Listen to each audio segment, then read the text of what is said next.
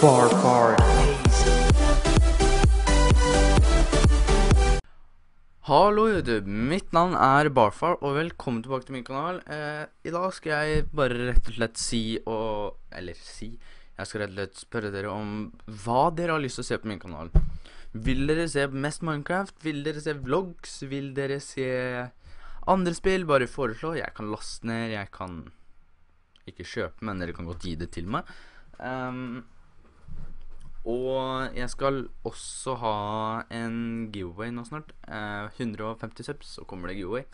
Så be tuned for that giveaway, and you will get a big, nice thing. Han er ikke så stor, men det, det er dyrt. Um, det er ikke sånn Hive Goal Premium Det er ikke noe sånn Hive Premium, det er faktisk et spill. Det er Black Flag. Kanskje. Who knows? Eh, sorry hvis jeg bare sjekker telefonen. Det er bare Duran, så jeg skal bråsjekke. Mm, ja, den snappen kan jeg sjekke etterpå. Eh, så rett og slett bli be, be tuned. Be tuned for that, and you will get prize. Og kanskje jeg skal begynne å lage sånn Best off eller et eller annet. Jeg vet ikke. Eh, men jeg lurer på om jeg skal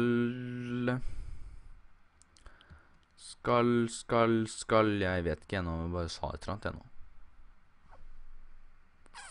Men ja, det var stort sett bare det jeg lurte på. Hva dere vil se på min kanal, og hva dere vil jeg skal spille.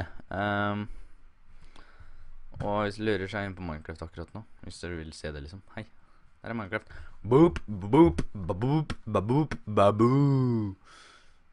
Eh, nei, den skal ikke være sånn. Den skal være der. Der. Sånn. Så Ja. eh, jeg tror ikke jeg har noe mer å si enn det. Men uansett, eh, tusen takk for at dere så på videoen. Legg en like, kommenter og abonner. Så ses snart i en ny video. Goodbye!